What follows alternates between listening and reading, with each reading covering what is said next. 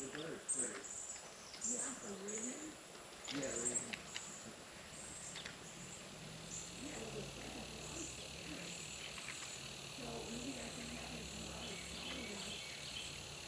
Yeah, that's a, a very easy, just